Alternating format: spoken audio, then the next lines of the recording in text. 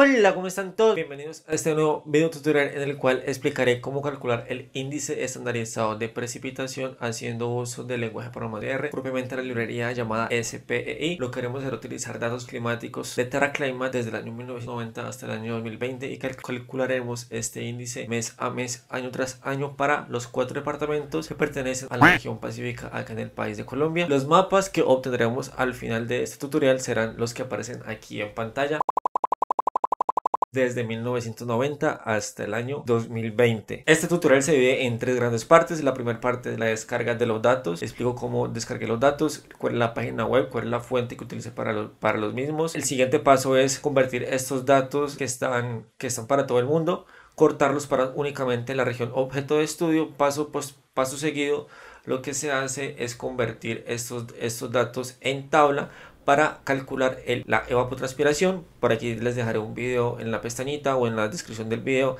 Les dejaré un video en el cual explico cómo calcular la evapotranspiración potencial detalladamente. Y posteriormente cuando ya hayamos calculado la ETP, calculamos el balance, el balance que es básicamente la resta entre precipitación y evapotranspiración y ahí sí calculamos el SPEI a una escala de un mes, es decir, un dato cada mes. Este es uno de los videos que más me ha costado trabajo, en tanto será bastante largo. Igual intentaré resumir lo más posible este video y explicar paso a paso todo lo que se hace para poder que tú lo implementes dentro de tus estudios o aprendas algo nuevo, simplemente una aplicación dentro de cómo manejar eh, datos especiales con R, haciendo una aplicabilidad a este índice estandarizado de precipitación, que en pocas palabras lo que nos permite observar es cuáles son las zonas en donde llueve más o en donde hay más sequía. Me ayudas un montón si te suscribes al canal, si compartes el video con todos tus colegas o amigos o personas que creas que este video les puede servir. Dale like si te gustó y comenta si tienes alguna duda o inquietud. Recuerda que si requieres los datos para poder acceder a este video, pues me compartes un correo a mi correo que está en pantalla y en la descripción de este video y yo, y yo te compartiré el script y el dato del límite administrativo de los departamentos, los datos climáticos y te explico cómo descargarlos para que los descargues porque son, es bastante pesado y siempre me tomó tiempo descargarlos.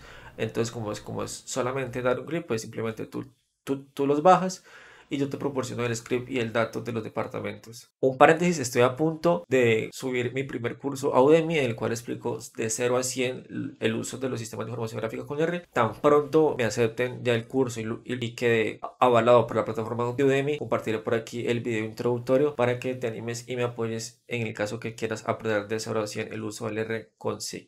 Si quieres aprender conmigo, acompáñame.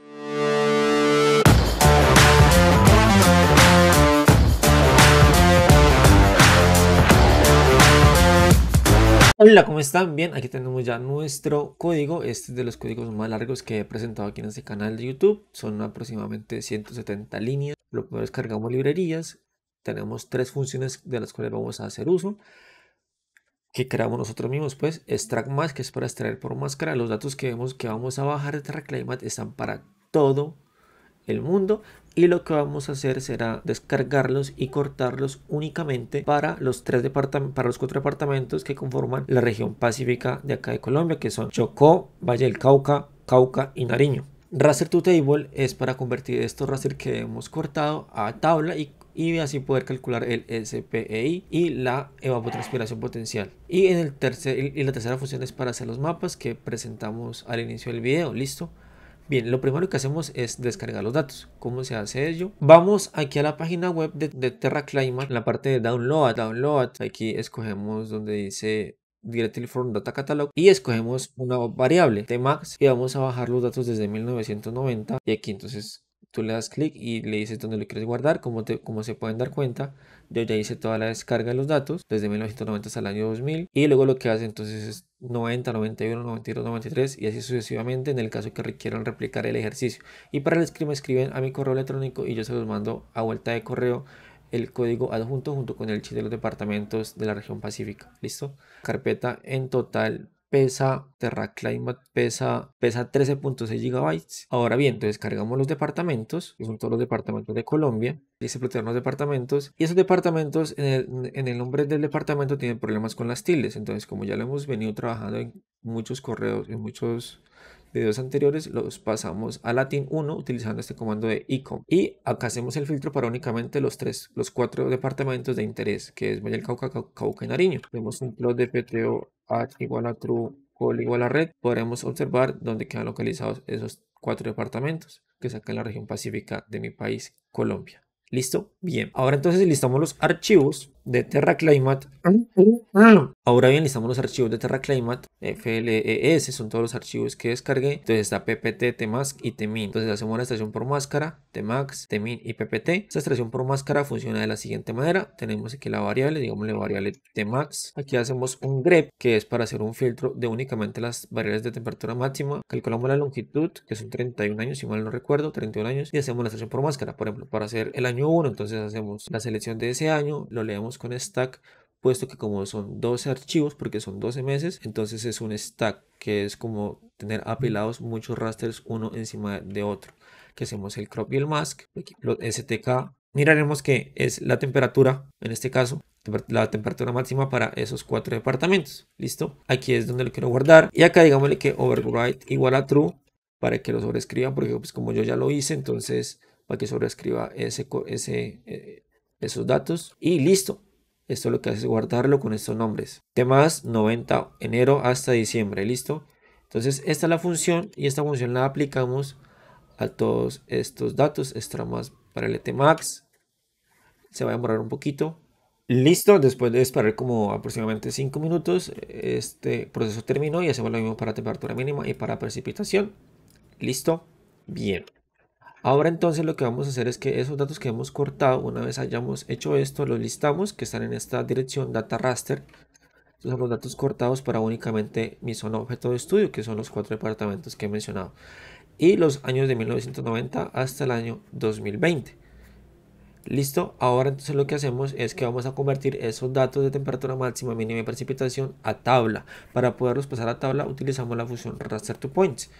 Y esa función de raster to points está embebida dentro de esta raster to table que he creado anteriormente. Entonces, este tmax escoge únicamente las variables de temperatura máxima. Y acá lo que hacemos con este raster to table es hacer la conversión. Entonces, esta, esta, esta, esto cómo funciona. La variable es precipitación.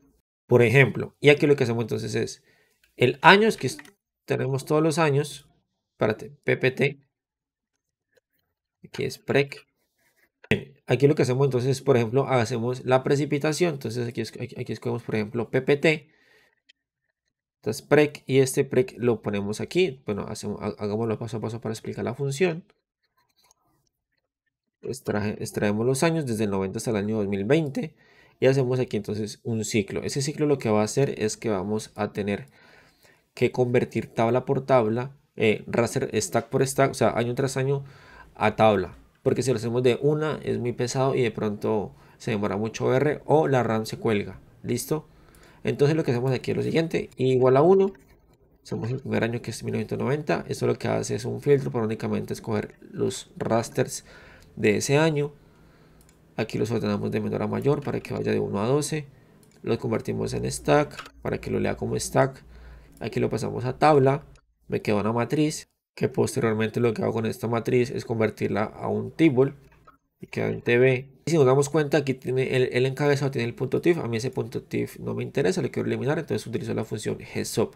Con la función GSOP le digo que punto .tif lo reemplace por nada, listo, y queda la tabla. Esto mismo, lo que vamos a hacer luego entonces es que una vez tengamos todos los años, vamos a unir todas esas 31 tablas dentro de una única tabla utilizando la función de inner join que lo que hace es unir todas las tablas dentro de una sola las coloca como apiladas hacia la derecha. Luego lo que hacemos entonces es, es convertirla de white a long con este, con este gather y luego lo que hacemos es extraer el nombre de la variable el año y el mes. Entonces mira por ejemplo aquí en este caso la variable está desde la longitud 1 número 1 desde el carácter número 1 hasta el carácter número 3 la, el año está desde el 5, 3, 4, 5 hasta el 8, hasta el 8, 5, 6, 7, 8 y el mes va desde el 10 hasta en echar de bar. ¿Por qué en echar? Porque cuando sea el mes 10, 11 o 12 pues escoja el último carácter, listo, hasta lo último y seleccionamos los datos que nos interesan, git, xy, variable, y armon y value y convertimos los datos que son carácter anumérico si es necesario con esta función de retype de la librería hablar. Listo, hacemos esto, lo vamos a hacer. Esto demora un poco de tiempo, es, lo, es lo, el proceso más demorado. Inicialmente lo quería hacer para toda Colombia, pero en virtud de que era bastante demorado, lo que hice fue solamente comprimirlo para los cuatro departamentos en cuestión. Entonces hacemos este procedimiento.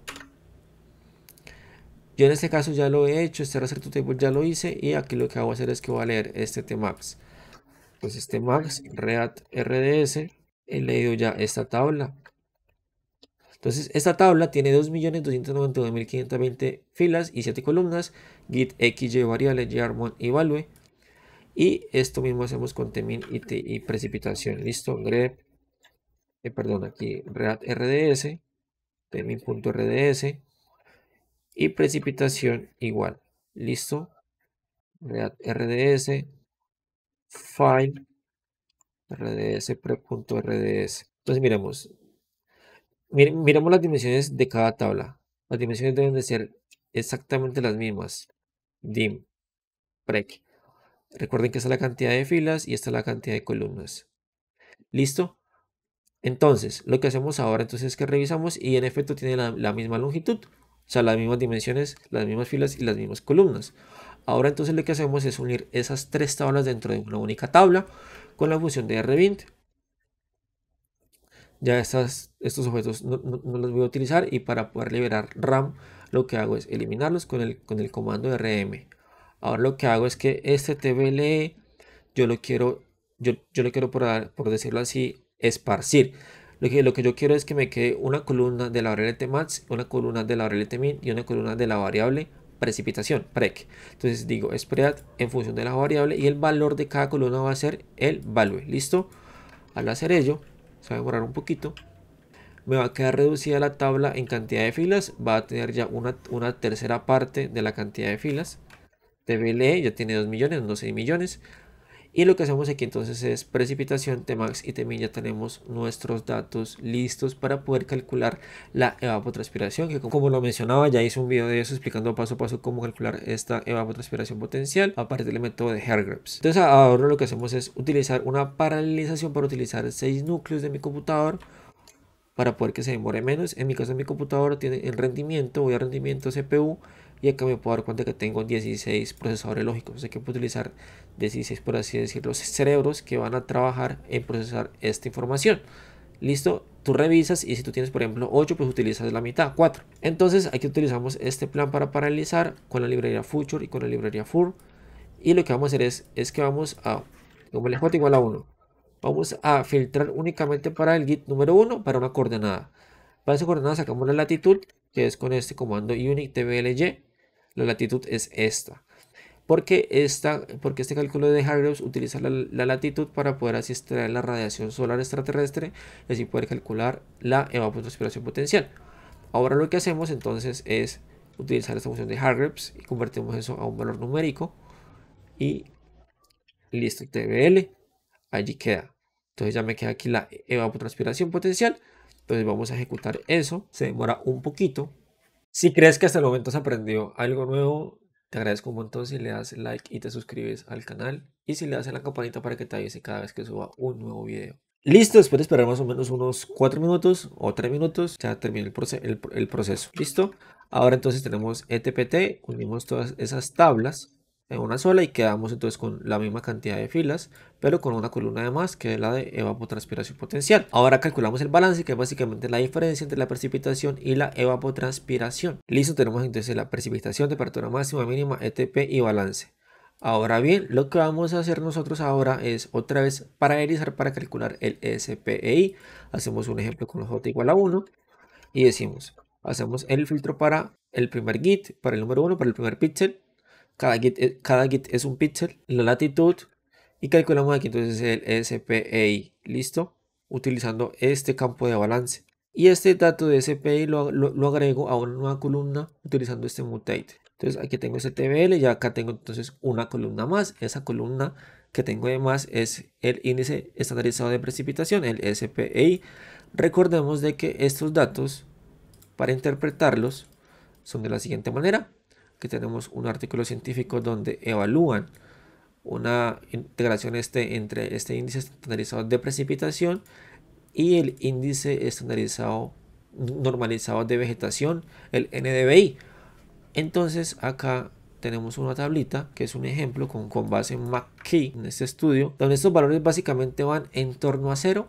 Es normal cuando, cuando va entre menos 1 y 1, cuando ya excede los valores de, de, la unidad por encima o por debajo, quiere decir de que si está por encima es que es moderadamente húmedo, es decir, de que llovió bastante y de que se evaporizó poco, por así decirlo, y cuando es menor a menos 1 quiere decir de que es seco. Ya cuando es menor a menos 2 es extremadamente seco y ya cuando es mayor a 2 es extremadamente húmedo. ¿Listo? Entonces eso es para tenerlo en cuenta. Bien, entonces hacemos este procedimiento otras, otra vez con 6 núcleos en mi caso porque tengo 12 núcleos y escribo los datos raster. ¿Listo?